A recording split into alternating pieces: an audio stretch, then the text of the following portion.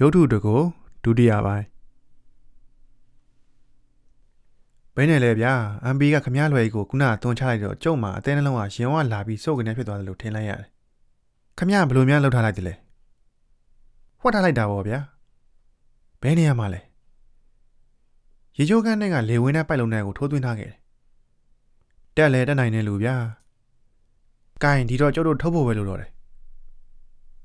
ခိုဘဲနဲ့ကျိုတိုမြို့ကြား၌လမ်းဘူတာကလေးတစ်ခုရှိရာဆေးရများသည့်ထိုးဘူတာကလေး၌ဆင်းသွားကြလေ၏ထိုအခါဂျိုလဲကျွန်ုပ်ကိုရေချိုးကန်းထဲသို့ခေါ်၍ရုပ်ထုကလေးဝတ်ထားရနေရာကိုကျွန်ုပ်အားပြသလေသည်ရုပ်ထုကလေးအားထိုးသွင်းထားခဲ့သောနေရာမှာရေချိုးကန်းအတွင်းသို့အပြင်မှလေဝင်ရန်တက်ဆင်ထားသည့်ပိုက်လုံးတစ်ခုဖြစ်သည်ဖြင့်ဂျိုသည်ရုပ်ထုကလေးကိုအပြင်သို့ဆွဲထုတ်ရန်ကြိုးစားလျက်ရှိနေလေ၏သို့သောအပေါက်နှင့်အန်ကိုက်နေသဖြင့်ဆွဲထုတ်ရမရချေ။ သုံးနှစ်သူသည်ဩစတြေးလျခြေချင်းတက်သားတယောက်ထံမှလှန်စွတ်တစ်ချောင်းကိုဥပေထမြင်ဖြင့်ငှားရမ်းခဲ့ပြီးလျင်ပိုက်လုံးထဲမှခက်ကြညံဆွဲယူကော်ထုတ်လျက်ရှိနေလေ၏အတန်းကြာအားဆိုင်လျက်ရှိနေပြီးနောက်နောက်ဆုံးအချိန်ကော်ထုတ်လိုက်ရာရုပ်ထုကလေးသည်အပြင်သို့ပါလာလေ၏သို့တော်နုနယ်သေးကွေးစွာထုလုပ်ထားသောရုပ်ကလေးတစ်ခုဖြစ်ရကလက်တစ်ဖက်မှတရောင်စင်းမှပြုတ်ထွက်သွား၍မျက်နှာ၌လည်းအတော်ပင်ပဲ့ရွယ်သွား၏ လှန်စွတ်ဖျားကြောင်လက်ဝဲဘက်မျက်လုံးမှာပေါက်ထွက်သွားပြီးလျင်မျက်လုံးအိမ်မှာအစင်းကြီးတစ်ခုသည်နရွက်နားသို့ရောက်အောင်ထင်လျက်ရှိနေလေသည်လက်မောင်းတစ်ဖက်ပြုတ်ကပဲ့ရွက်နေသောသူ၏အမျက်တနုထားသောရုပ်ထုကလေးကိုဂျိုသည်ကန်ကြည့်လျက်ဂိုင်မက်ကြီးရုပ်ကလေးကတော့တော်ပဲဒဏ်ရာရသွားပြီဗျာမျက်နှာမှာလည်းရစရာမရှိတော့ဘူးဒီတော့အားလုံးဘေးဒုက္ခတွေ့ပြီးတဲ့အခါဒီသုံးမကျတဲ့ပစ္စည်းစုပ်ကလေးကိုချိန်မလိုက်ဖို့ပဲရှိတော့တယ် သို့တော်သူသည်ပြောသည့်အတိုင်းမပြုတ်ရသေးပဲရုတ်ထုမှပဲ့ကြလာသောလက်မောင်းကလေးကိုယူရစာကင်တွယ်ပြီးလျင်နို့ဝေမဲ့ဒီဟာလေးထပ်ပြီးပြင်လိုက်ရင်တော့ကောင်းချင်ကောင်းမှာပါလေဟုပြောဆိုပြီးနောက်စက်ကိုတစ်ခုနှင့်ပြင်းချင်းစွာထုတ်ပြီးလျင်သူ၏ကြောဘိုးအိတ်ထဲသို့ထည့်ထားလိုက်လေ၏ထို့နောက်ကျွန်ုပ်တို့လည်းတွဲထဲသို့ပြန်၍ဝင်ကြလေ၏ကျွန်ုပ်တို့ထွက်လာသောစစ်စခန်းသို့မရောက်မီကြံလန်းကြီးတစ်ချောင်းနိုင်မူကျွန်ုပ်တို့သည်အခြားတောင်စင်ရေမြစကားများကိုပြောဆိုကြ၍စိတ်နှလုံးပေါ်ပါဖြက်လက်စွာရှိနေကြကုန်၏။ ။အော်ဒါထက်ခမည်းကိုကျောက်ကတခုပြောအောင်မယ်။ကျောက်မှာရီးစားရှိတယ်ဗျ။သူ့နာမည်က root တဲ့ဗျ။လှလဲလှတယ်လိမ်လဲလိမ်ပါတယ်။ကျောက်တစ်ထက်ကထွက်လို့အိမ်ကိုပြန်ရောက်တဲ့နောက်လက်ထပ်မယ်ဆိုတာသူပေါ့မက်ရဲ့။ကျောက်ရဲ့အနာဂတ်လမ်းခရီးကိုဖန်တီးမဲ့သူဟာချားသူမဟုတ်ဘူးသူပေါ့။ထို့နောက်ဂျိုဒီသူစစ်တပ်မှထွက်မြေကြောင်ကိုကျွန်ုပ်အားသေးသေးပြောပြလျက်ရှိရာရင်းတို့ရောက်ချင်ရရောက်ပေါက်ချင်ရပေါက်သွားကအကြံပရနေထိုင်ခဲ့သောစစ်သားတယောက်က လှပချောမောသောမိန်းကလေးအကြောင်းကိုကြပြဆန်းဆန်းပြောကြားနေပုံကိုကျွန်ုပ်၏စိတ်ထဲတွင်အံ့ဩမိသည်ခုရဲမျိုးတို့ကျွန်ုပ်တို့ပြန်ရောက်ကြသောအခါကျွန်ုပ်တို့၏အခွင့်အရေးမှလည်းစေပြီးဖြစ်သည်ဖြင့်အလုပ်ကိုပြန်ရေးဝန်ရနာရှိတော်၏သို့တော်ဂျိုမာမူနေရာပြောင်းရမည်အမိန့်တစ်ခုကိုရရှိလေသည်သူသည်ဝါရင်တော်စစ်သားတယောက်ပြီးပြီးအလုပ်မျိုးစုံကိုလုပ်ကင်ခဲ့မှုသည့်အတိုင်းတင်မောကုမ္ပဏီတစ်ခု၌စိတ်ခံတင်မောပေါ်တွင်ကျိုးဆက်များကိုမောင်းနှင်ရန်အလုပ်တစ်ခုဖြင့်ရွှေ့ပြောင်းရတော်မူဖြစ်၏ သူသည်ထိုအလုပ်ကိုမလုပ်လို့ချေကျွန်ုပ်ကိုခွဲခွာရေးသွားရန်စိတ်လေးလေးရရှိသို့သောမြည်သို့မှမတတ်နိုင်ရှာပဲနောက်ဆုံး၌ထိုအမိန်ကိုနာခံရလေသည်သူထွက်သွားသောအခါရုပ်ထုကလေးသည်ကျွန်ုပ်၏လက်ထဲတွင်ခိတ္တကြံရစ်ခဲ့၏ရတတဲ့တစ်ပတ်ခန့်ကြာသောအခါဂျိုမာမတော်တဆထိခိုက်မိသဖြင့်အီတာကြီးမှဆေးရုံသို့ပို့လိုက်ရကြောင်းဖြင့်သတင်းကြားရ၏ သို့တော်ဒဏ်ရာများမှများစွာပြင်းထန်ကြောင်းကျွန်ုပ်ကြားသိရသဖြင့်သူ့ထံမှစာမရောက်မချင်းကျွန်ုပ်တစုံတရာမပြုလုပ်နိုင်ချေရတတပတ်၃ပတ်ခန့်ပင်သူ၏အကြောင်းတစုံတရာမရဘဲရှိနေခဲ့ပြီးနောက်ကျွန်ုပ်မှသူ၏စစ်တပ်မှလူတစ်ယောက်နဲ့ကမ်းအားလျော်စွာတွေ့ဆုံလျာဂျို၏ဒဏ်ရာမှာအတော်ပြင်းထန်ကြောင်းကျိုးဆက်နိုင်မောင်းနှင်လောက်ကင်လျက်ရှိနေရတယ်မတော်တဆထိခိုက်သွားကြောင်းသိရလေသည်ကျွန်ုပ်သည်ဆေးရုံသို့နှစ်ကြိမ်တိုင်တိုင်စာများရေးပို့ခဲ့၏သို့သောဂျိုထံမှတစုံတရာပြန်စာမရချေ ဤသို့ဖြင့်အချိန်ကုန်လွန်သွား၏ချမ်းလာသောဇန်နဝါရီလ၏နေ့တစ်နေ့၌ကျွန်ုပ်တို့၏စစ်တပ်တန်းလျာပတ်ဝန်းကျင်နှင့်နှင်းမွေများသည်အထူး6လမှခိုင်ဖုံးအုံးလျက်ရှိနေစဉ်ကျွန်တော်နှင့်အခြားစစ်သား၁၂ယောက်အိတ်သောအခန်းထဲသို့လူတစ်ယောက်ရုတ်တရက်ဝင်လာလေသည်ထိုအခါကအခန်းထဲတွင်ကျွန်ုပ်တယောက်ထဲသာရှိ၍ကျွန်ုပ်၏အိယာပေါ်၌ခြေအဆုပ်တစ်ခုကိုဖာရင်းလဲလျောင်းလျက်ရှိ ထိုသူသည်ကျွန်ုပ်နီးသို့ရောက်လာပြီးလျှင်ကျွန်ုပ်အားငုံရည်ကြည့်နေကြောင်းအတန်ကြာမှကျွန်ုပ်ကသတိပြုမိလေသည်ကျွန်ုပ်၏အိယာချင်းပေါ်မှာကဩစတြေးလျအင်ဂျီရှည်ကြီးများကိုဝတ်ထားလျက်အိုတိုပြော့တစ်လုံးကိုအောက်သို့အလွန်နှိမ့်ချစွာချ၍ဆောင်းထားသောအရက်ရှိလူတစ်ယောက်အတွင်ကိုကျွန်ုပ်မြင်ရလေ၏ထိုသူ၏မျက်နှာနှင့်ကိုယ်ဟန်အမူအရာကိုရုတ်တရက်ကျွန်ုပ်ကမဖမ်းနိုင်ကြလူစိမ်းတယောက်ဖြစ်၍မိတ်ဆွေတယောက်အားလိုက်လံရှာဖွေနေသည်ဟုသာကျွန်ုပ်ထင်မိသို့နှင့်ကျွန်ုပ်ကသူ့မျက်နှာကိုအသေးချာမကြည့်ပဲ ဘာလို့ကျွန်ုပ်လည်းမိတ်ဆွေဟုမေးလိုက်ထိုသူသည်ကျွန်ုပ်မေးသည်ကိုပြန်မဖြေပဲသူ၏လက်များကိုသာအင်ကြီးရှည်ကြီးတွင်သို့ထိုးသွင်းလျက်ရှိနေလေသည်အလို့ဟဲ့လူဘာလုပ်နေရလဲဗျထိုအခါမှကျွန်ုပ်မှာဂျိုးဤခုံနေကြအတန်ကိုကြက်မိသဖြင့်ဝမ်းမြောက်ဝမ်းသာနဲ့နေရာမှခုံ၍ထားလိုက်ပြီးလျှင်ကျွန်ုပ်၏လက်ကိုဆန်တန်းပေးလိုက်လေသည်သို့သောဂျိုသည်ကျွန်ုပ်၏အပြုတ်မှုကိုဂယုမဆိုင်ပဲအိယာပေါ်ရှိနေရာတနေရာတွင်ဝင်ထိုင်လိုက် ထိုအခါမှကျွန်ုပ်သည်သူ့မျက်နှာကိုနီးကပ်စွာကြည့်လိုက်မိရာဥကောင်းအထက်ပိုင်းကိုအဝိဆများဖြင့်အတော်ထူးထပ်စွာစီးနှောင်ထားသည်ကိုမြင်ရ၏သို့သောမြည်သည့်အကြောင်းကြောင့်မသိသူသည်မြည်ကဲ့သို့တန်ရာရသည်ကိုကျွန်ုပ်ကမမြင်မိပဲသူ၏အလောက်ကန်အကြောင်းသူရောက်သွားသောစစ်တပ်အကြောင်းများကိုသာမေးမြန်းလျက်ရှိနေမိစကားပြောလျက်ရှိစဉ်၌ပင်ကျွန်တော်၏မိတ်ဆွေကြိုသည်သူ၏မျက်နှာကိုအမှောင်ကျကျနေရာ၌ထားလျက်သူ၏လက်များကိုလည်းအိတ်ထဲမှမထုတ်ဖဲရှိနေလေသည်။အော်ဒါထက်မှတ် ခမည်းစီမံထားခဲ့တဲ့ကျိုတိုကခိုးလာတဲ့ရုပ်ထုတွေရှိသေးရဲ့နော်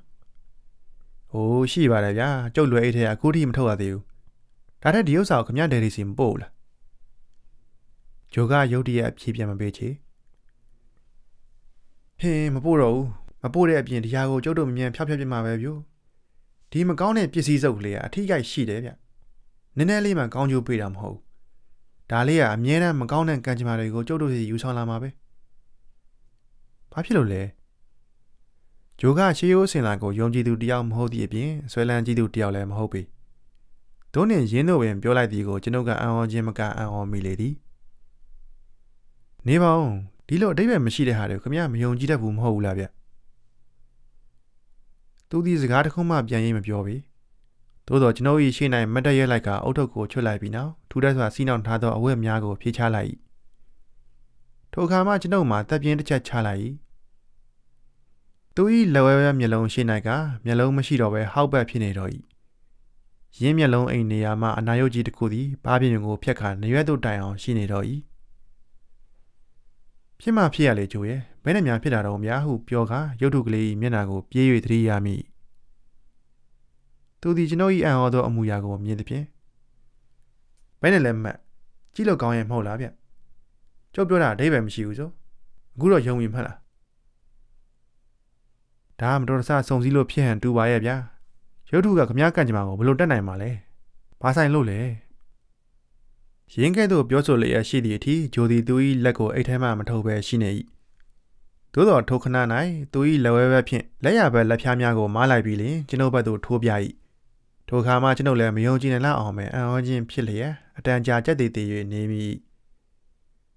အင်ကြီးအရှိပိုင်းမှာတစုံတရာမရှိဘဲဗလာဖြစ်နေ၏ သူ၏လက်မှာတထောင်စင်းမှနေ၍ပြက်လျက်ရှိဤသို့ကြက်တည်တည်လျက်ရှိရာမှာကျွန်ုပ်ပြန်၍သတိရလာသောအခါရင်းတန်ရများမှမြည်သို့မြည်ပုံရရှိကြောင်းကျွန်ုပ်ကမေးမိတော့၏ဖြစ်ရပုံကတော့ခေါ်ဘဲတင်းမောစိတ်ကကြောက်ဆူးကြိုးပတ်တဲ့ဆက်မှာအလုံးလုံးနေတော့မတော်ဆဖြစ်တာပဲဗျာ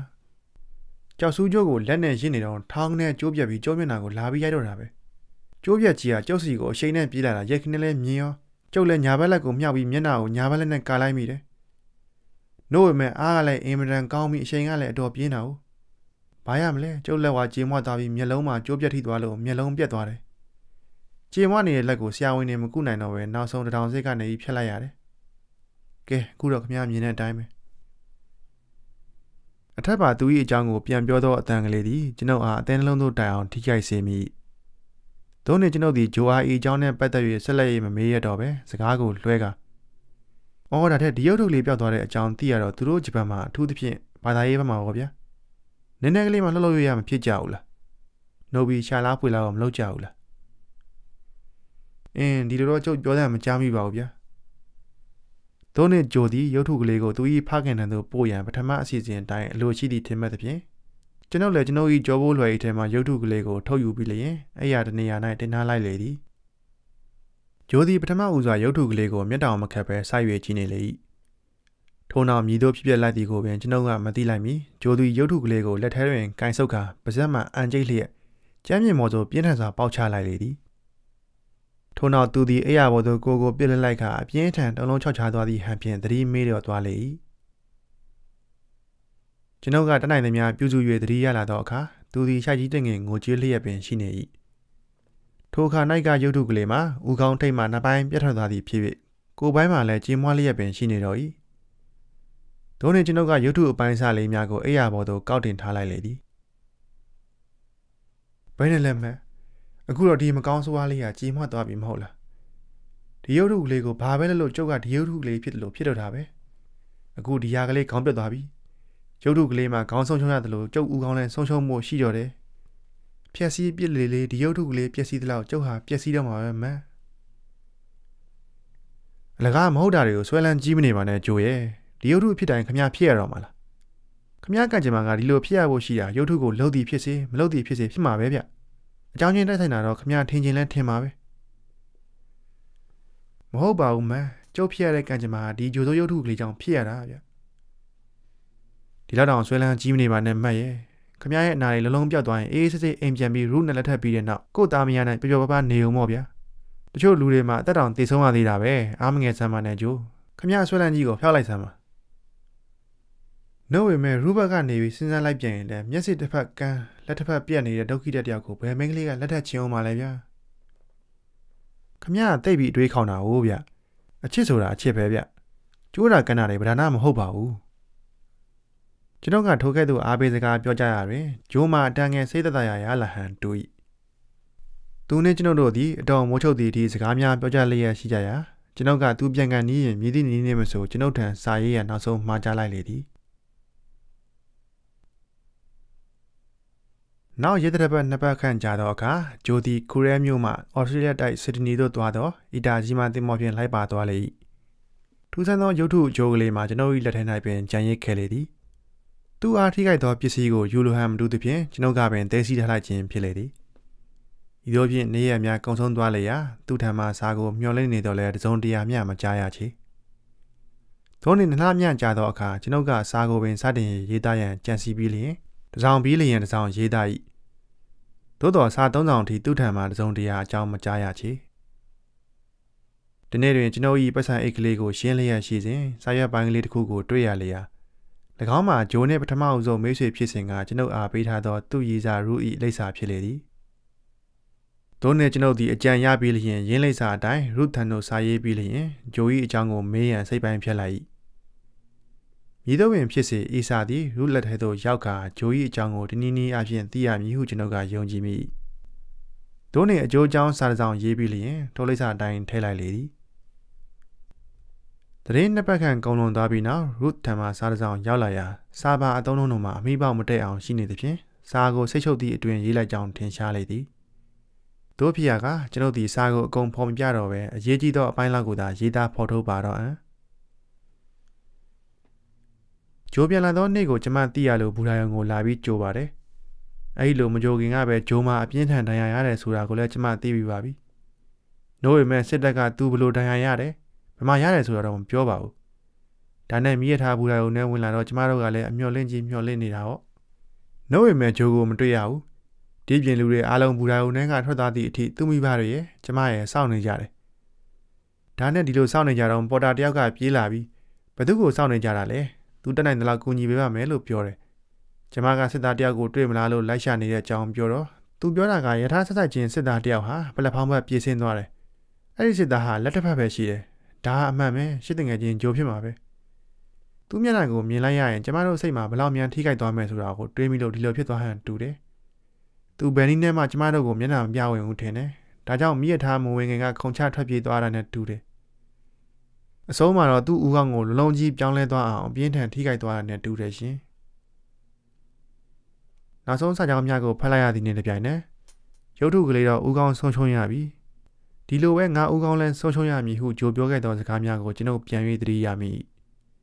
ယူသူချင်းကဦးကောင်းဆုံးရှုံးခြင်းပဲမဟုတ်ပါလောဂျိုဤအဖြစ်ပြက်ကိုအီစာအဖြစ်သိစေရကမူကျွန်ုပ်မှာအပြင်းထန်တုံးလုံးခြောက်ချမိနောက်ဆုံးစာပိုက်သည်ကအောက်ပါအတိုင်းဖြစ်လေသည်နောက်တစ်နေ့မှရဲဘက်ကဂျိုကိုဖမ်းမိလာပါတယ်ရှင်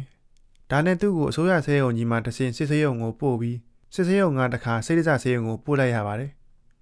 ဒါနဲ့ဆရာဝန်ကြီးများဆက်သက်တဲ့အခါအမှန်ပဲဂျိုဟာစိတ်နှောက်သွားပြီးပြန်ကောင်းဖို့မျှော်လင့်ချက်မရှိတော့ဘူးလို့ပြောလိုက်ပါတယ်။ရှင်းတင်ငယ်ချင်းအဖြစ်ပြက်ကတော့ဒါပါပဲရှင်။ဒီထက်ပိုပြီးကျမသူ့အကြောင်းကိုမရေးဝင်းတော့ဘူး။ဒီဟာနဲ့ပဲတော်ပါရစေတော့ထိုည၌ဂျို၏အကြောင်းများကိုအစမှအဆုံးတိုင်နက်နက်နဲနဲတွေးတော်မိ၏ကျွန်တော်တို့နှစ်ယောက်လုံးပင်အရှိတိုင်းမှတာမန်မပူးစီယာထုတ်လုပ်ထားသည့်တစ်တာရုပ်ကလေးတစ်ခုသည်လူတစ်ယောက်အားဤများလောက်မကောင်းကျိုးကိုပေးနိုင်လိမ့်မည်မဟုတ်ဟုတွေးတော်မိ သို့သောအရှိတိုင်းပြည်မှာထူးဆန်းသောတိုင်းပြည်တစ်ခုဖြစ်၍ရင်းရုပ်ထုကလေးမှာမြမပြည်မှာဗုဒ္ဓဘာသာများအထွတ်မြတ်ထားသောဗုဒ္ဓရုပ်ပွားတော်တဆူကဲ့သို့သူတို့မသိမမြင်နိုင်သောတကောအာနုဘော်ရှိကောင်းရှိပေမည်ဂျိုသည်စိတ်ကန်းတန်မှန်ကြောက်ဆူးကြိုရစ်သောဆက်ကိုမောင်းနေရတယ်မတော်တဆဒဏ်ရာရသည်မှာမှန်၏သို့သောသူရရှိသောဒဏ်ရာများမှာရုပ်ထုကလေးကိုပေါ်တွင်မတော်တဆထိခိုက်မိသောဒဏ်ရာနှင့်အမခန်းတူနေသည်မှာထူးဆန်းလှတော်သည်တစ်သားရုပ်ထုကလေးပေါ်တွင်ပိုင်ရှင်ဖြစ်သူကမတော်တဆသော၎င်းပြုလုပ်ခဲ့မိ၍ ကျိုးပဲပျက်စီးသောဒဏ်ရာများနှင့်ဂျိုရရှိခဲ့သောဒဏ်ရာတန်ချက်တူသိမတိန်တူညီလျက်ရှိသဖြင့်အစဉ်သိမ့်ရဖြစ်ရသည်သို့မဟုတ်တိုက်ဆိုင်ရေးဖြစ်ရသည်ဟုကျွန်ုပ်ကိုယ်တိုင်ပင်ခွဲခြား၍မရချေအရှိတိုင်းသားများအစဉ်လာတိုင်းပစ္စည်းတစ်ခုခုသော၎င်းသို့မဟုတ်အယုတ်တစ်ခုနှင့်သော၎င်းလူသားတို့မမြင်အပ်သောတကူအိဋ္ဌိဘတ်ရှိသည်ဆိုခြင်းမှာရာခိုင်နှုန်း60ခန့်မှန်ကောင်းမှန်ပေလိမ့်မည်။ဒုံနေကျွန်ုပ်သည်အတော်တန်ကျုပ်ပဲ့ခြင်းမွားလျက်ရှိသောရုပ်ထုကလေးကိုလက်ကင်ဘွားတစ်ထည်နှင့်ထုတ်ပြီးတော့ ထိုညအတော်တန်ညဉ့်နက်မှမိုက်သောအခါ၌ကျွန်ုပ်တို့စစ်စခန်းအနီးရှိရွာတရွာသို့တယောက်ထဲလျှောက်လာခဲ့လေသည်။မကြမီလမ်းဘေးရှိဖျားရှိကိုကြောင့်အဆောက်အုံတစ်ခုကိုတွေ့ရသဖြင့်ရုပ်ထုကလေးကိုပဒင်းမောက်တစ်ခုပေါ်၌တင်ခဲ့ပြီးလျင်လင်းမြန်စွာထွက်လာခဲ့လေ၏။ခြေလန်း200ခန်းများသွားမိသောအခါကျွန်ုပ်တို့ရုပ်ထုကလေးမှာရှင်တို့ဘာသာဝင်ရုပ်ထုမဟုတ်ပဲဗုဒ္ဓရုပ်ပွားတစ်ခုထင်သဖြင့်ကျွန်ုပ်ထားခဲ့ရသောအဆောက်အုံမှာရှင်တို့ဘာသာအဆောက်အုံဖြစ်သဖြင့် ရင်းကဲ့သို့ထားလေခြင်းကမှားလေပြီဟုကျွန်ုပ်အောင်းမိမိရှင်တို့ဘာသာမှာဗုဒ္ဓဘာသာနှင့်အများစွာခွာခြား၏ဗုဒ္ဓရုပ်ပွားတော်တစုကိုရှင်တို့အဆောက်အုံတစ်ခု၌ထားခဲ့မိသည်မှာကျွန်ုပ်မှားချေပြီ။ဒုံနဲ့ကျွန်ုပ်လည်းအရေးဆုံးကကျွန်ုပ်ထားခဲ့သောနေရာသို့ပြန်၍လာခဲ့ပြီးလျင်ရုပ်ထုကလေးကိုတဖန်ပြန်၍ယူခဲ့ပြီးနောက်ရှေ့သို့ဆက်၍သွားလေရာတမိုင်ခန့်မြအရောက်တွင်ဗုဒ္ဓဘာသာဘုရားရှိခိုးကြောင်းတစ်ကြောင်းကိုကံအားလျော်စွာတွေ့ရလေ၏၎ င်းမှာအတော်ကြီးမားသောအဆောက်အုံကြီးဖြစ်၍အလဲတွင်အုတ်လေကားကြီးတစ်ခုရှိရာဘေးတစ်ဖက်တစ်ချက်တွင်လှေကားလျံတိုင်ကြီးများရှိ။ဒိုနေကျွန်ုပ်သည်တိုင်တစ်ခု၏ထိပ်တွင်ရုပ်ထုကလေးကိုတင်ထားခဲ့ပြီးနောက်လှည့်မြန်စွာပြန်၍ထွက်ခဲ့လေ၏။စစ်တမ်းရသို့ပြန်၍ရောက်သောအခါမြည်သူမှကျွန်ုပ်ပြန်လာသည်ကိုမသိသဖြင့်ကျေးဇူးတင်ဝမ်းမြောက်မိသေး၏။ရင်ထဲမှအလုံးကြီးလည်းကျသွားပေပြီ။ နောက်၃ရက်ကြာသောအခါကျွန်ုပ်နှင့်မနီးမွေးကျွန်ုပ်ကြားလောက်သောနေရာအတွင်း၌ကျွန်ုပ်တို့စစ်တပ်မှစကားပြန်သည်စစ်ဗိုလ်အားသတင်းစာတစ်စောင်မှကောင်းထုတ်ချက်များကိုဘာသာပြန်၍ပြလျက်ရှိလေသည်ရင်းအကြောင်းများသည်ကရုပ်ထုပေါင်း3000ကျော်ရှိသည့်ဘုရားရှိခိုးကျောင်းမှာဂျပန်တို့အထွတ်မြတ်ထားသည့်အဖိုးတန်ရုပ်ထုကလေးတစ်စုပျောက်သွားရာယခုအခါပြန်၍တွေ့ရှိရပြီဖြစ်ကြောင်းဟူသောသတင်းဖြစ်လေသည်